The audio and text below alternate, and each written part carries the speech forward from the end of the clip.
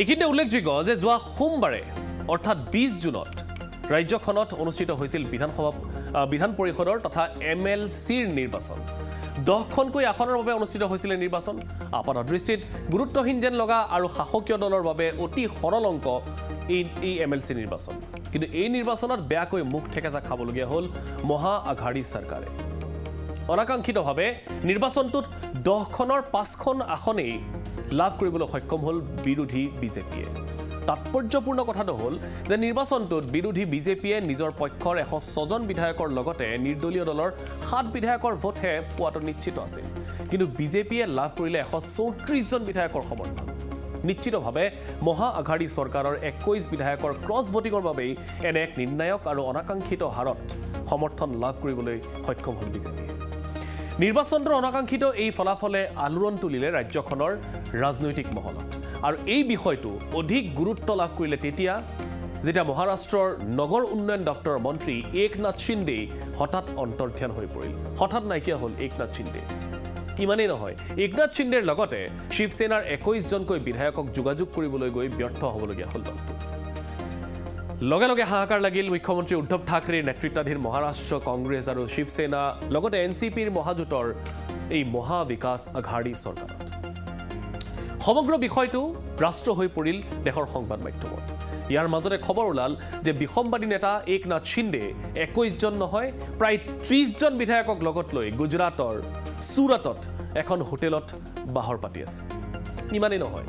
সময় যোৱাৰ লগে লগে খবৰ আহিল যে সম্প্ৰতি একনাথ সিন্দেৰ লগ লাগিছে মহাৰাষ্ট্ৰ আৰু দুগৰাকী কেবিনেট মন্ত্ৰী।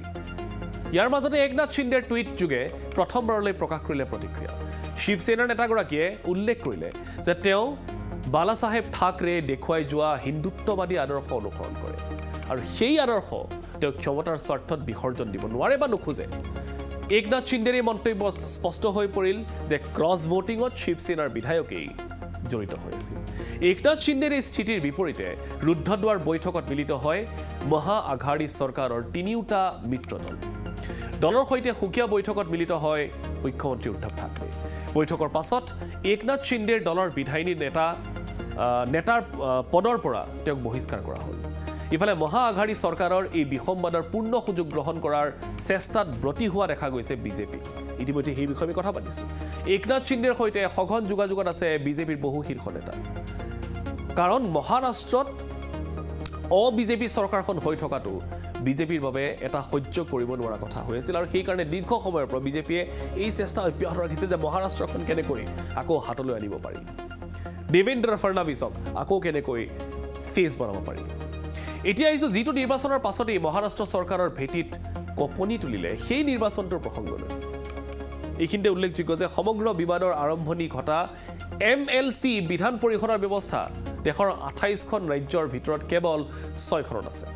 সেয়া হৈছে অন্ধ্ৰপ্ৰদেশ কৰ্ণাটক তেলেংগানা মহাৰাষ্ট্ৰ বিহাৰ উত্তৰ প্ৰদেশ।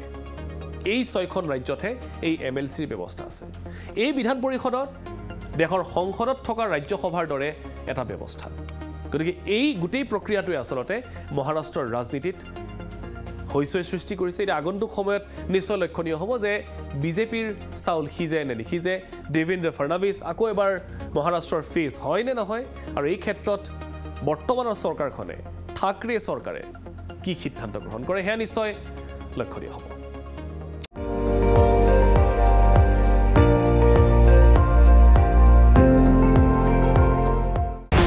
আপুনি চাই আছে এন ডি টুৱেণ্টি ফ'ৰ। সৰ্বশ্ৰেষ্ঠ নহয় সৰ্বোত্তমৰ দৌৰ